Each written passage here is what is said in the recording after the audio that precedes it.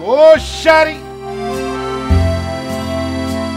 كشري everything mia mia so you get your koshari I got my kosher. you will be happy today Of course. you get your kosher your food the energy one and now you go diving okay enjoy your day and have a lovely dive okay see you later see you صباح الجمال يا مدير الحمد لله واحد عينيا حاضر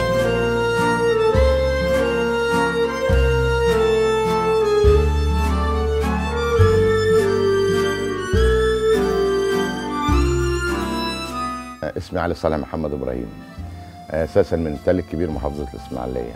جيت دهب سنة 89 عن طريق كنت بره في الأردن نزلت هنا كترانزيت آه، عجبتني البلد.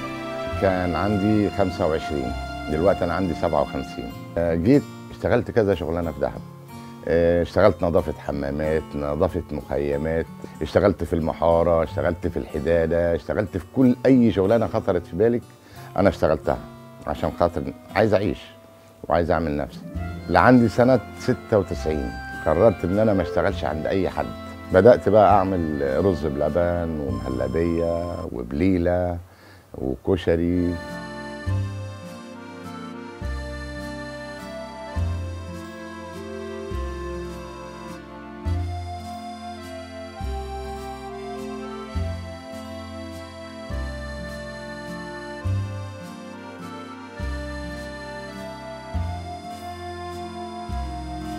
دهب كانت جنة الله في الأرض. دهب دي كان كلها نخيل. مفيش فيها مباني نهائي خالص. لا فنادق ولا كامبات. كان كله عامل آه، عشش بوص. كانت بتتأجر. للأوروبيين والأجانب اللي كانوا عايشين في البلد. عجبتني البلد قعدت اشتغلت فيها. ربنا كرمني اتجوزت آه، جبت مراتي وجيت قعدنا هنا. ومعايا أربع ولاد معايا أحمد و... وعبد الله وجوز بنات تاني. ابني اللي هو مخلص ايده بايدي في الشغل. يعني وبيطلع يشتغل برضه ساعات بيطلع بالكشري يوزعه اللي هو مخلص لسان حقوق الكشري الأول لأن أنا بحب ال- ال- الأكل. أكلة نظيفة وأكلة سريعة وأكلة شعبية وأي واحد هياكلها. فأنا حبيت شغلانة الكشري.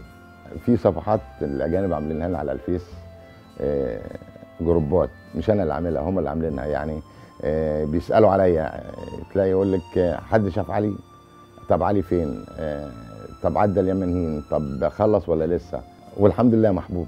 آه، ال- الأجانب لما ذاقوا الكشري بتاعنا أطلقوا عليه اسم علي الفيمس. ببدأ من الساعة 9 حضرتك لعند الساعة 11 أو 11 ونص يكون جهزت ال- الكشري.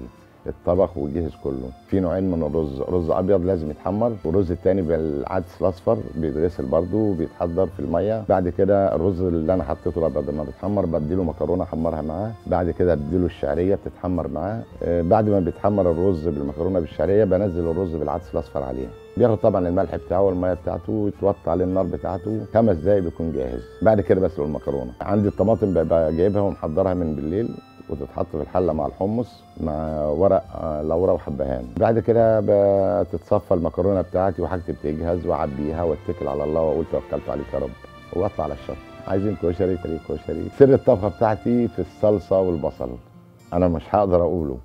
آه، بس طالما عندك ضمير وفي اتقان وبتراعي ربنا في الحاجة اللي أنت بتعمليها ده أكل عيش ربنا بيكرمك.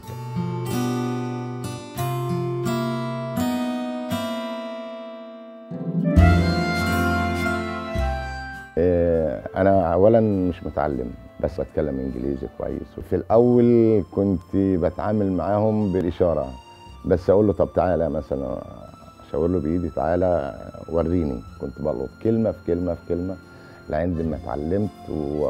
والحمد لله دلوقتي عايش معاهم. يمكن أنا عندي أكتر من 10000 أو 12000 صديق أجانب أجانب بس. الصبح طبعا good morning my friend. So have a lovely day. Wish you a good day. Great day.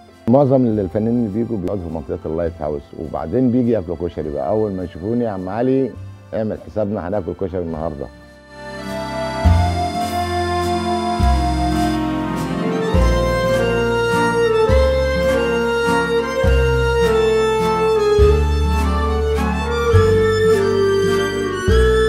ال- الرزق زمان كان حلو.